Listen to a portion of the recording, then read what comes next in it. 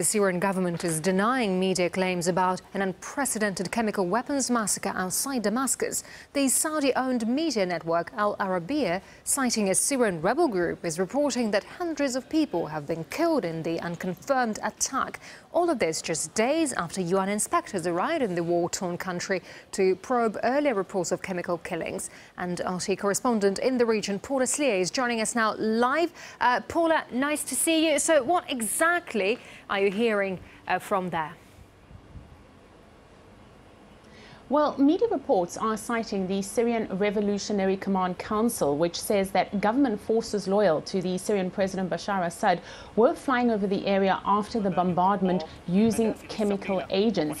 Now, this attack happened in the rebel-held area of eastern Damascus in a place called Eastern Ghouta.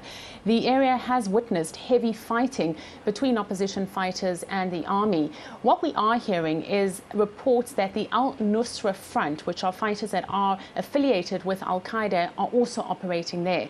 Now, some reports do suggest that more than a thousand people were killed in this latest attack, but other reports talk about dozens dying. Graphic images have flooded the internet showing alleged victims choking, foaming at the mouth, and displaying other possible symptoms of chemical attacks in Syria. The origin of this footage, however, is unverified, and that point needs to be made that no one knows where it was filmed or who filmed it. We are trying to get more details at this stage from the area. We have been speaking with local residents who confirm that there was fighting there earlier, but they insist that there have been absolutely no signs of any kind of chemical attacks. The first to break this news was the Saudi Arabia network Al Arabiya. Now, Saudi Arabia has its own agenda inside Syria. It's anti the Syrian President Assad, and therefore any kind of reports of the use of chemical weaponry must take this into consideration. Uh, Paula, and what's been reaction to the to this alleged uh, attack worldwide?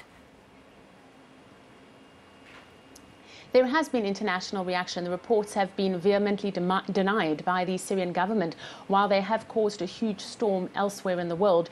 The UK is demanding an immediate action by the United Nations Security Council. The Arab League says that the incident should be investigated at once. And all of this comes at a time when UN inspectors are inside the country conducting a chemical probe.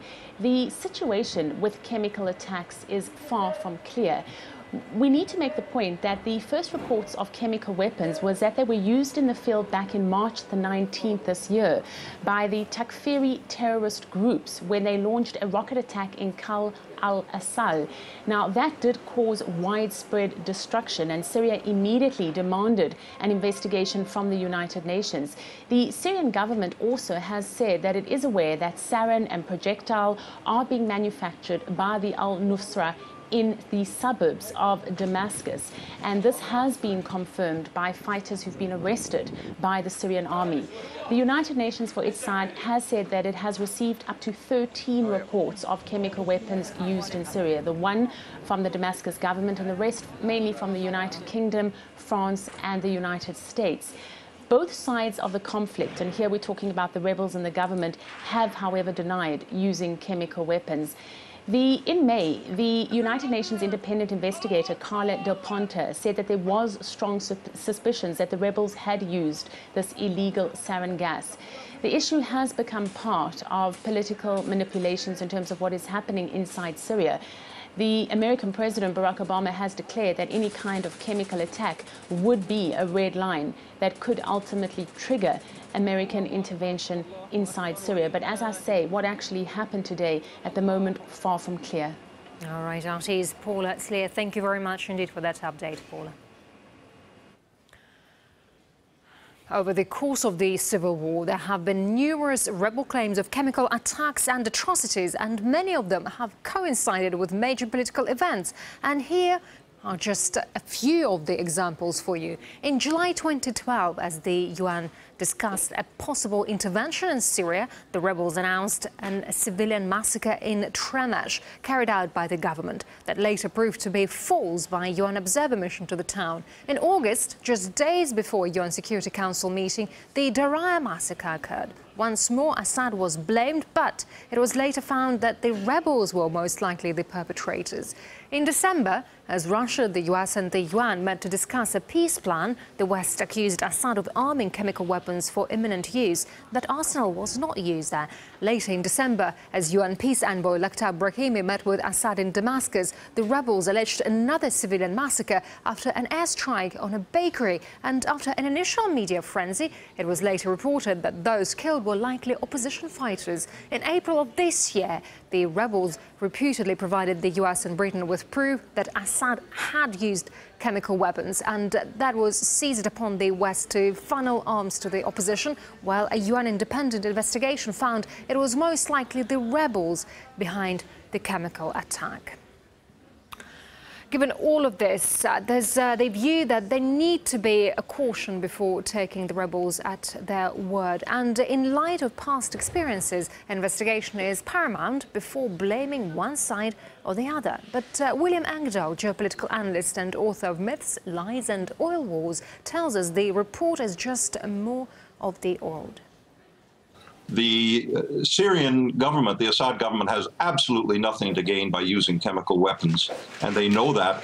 Uh, I think the key point here is is the point that uh, Obama made this very unfortunate statement, pinning himself in, that if proof of chemical weapon use by by the government uh, is demonstrated, that's the red line for U.S. military involvement, no-fly zone, the whole thing, and uh, this has become now the, the line in the sand issue between war and not war on the side of the U.S. and, and NATO in Syria.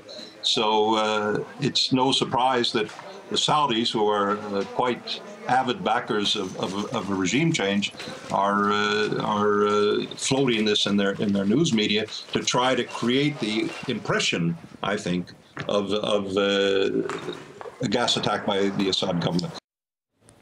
And UK-based geopolitical analyst Patrick Henningsen explained why he thinks it's too early to jump the gun and point the finger at the Syrian government.